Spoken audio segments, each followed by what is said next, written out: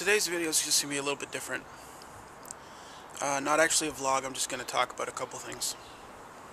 Um, first is, I have a new channel. Uh, not specifically for me. Um, it is going to be a community channel. Um, essentially, anybody can post anything they want, and I'm going to figure out the logistics later. But, uh, yeah, I just, I've been hearing a lot about, I've been hearing a lot about the, uh, is the community dying, and is YouTube killing the, the community, but, um, I don't think so.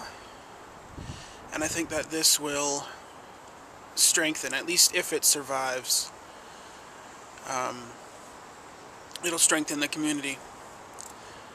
So uh, there's a link to that down in the description.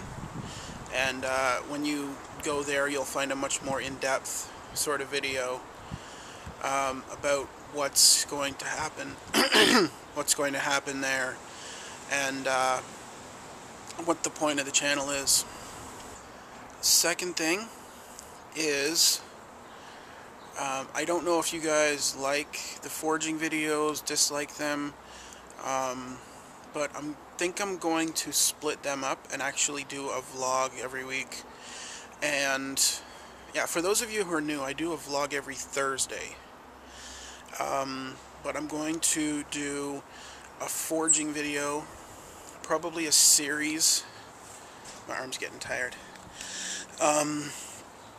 Yeah, a series, and I'm gonna call it like Basics of Forging or something like that.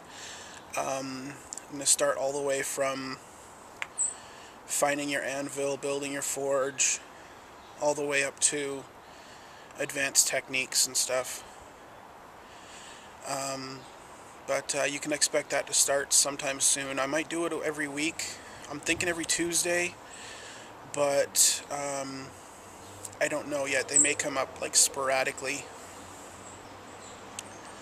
But uh, look for that.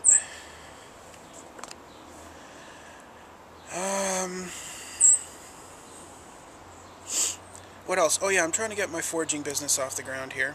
So if you know anybody who's interested in uh, buying some some uh, blacksmith work, antique stuff, let me know.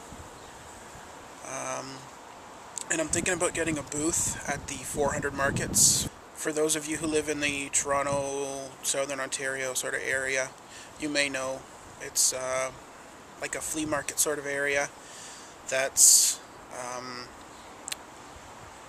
just south of Barrie. And uh, I think that should be cool. Um, but check out my website. Um, I'm going to finish up sort of putting pictures and stuff up there in the next couple weeks. Uh, and then it'll be finished except for the occasional update where I post more pictures and stuff. But uh, I think that's it. Now my forge is actually running right now, so I don't want to burn the building down, so I'm going to go and uh, maybe record my first forging video.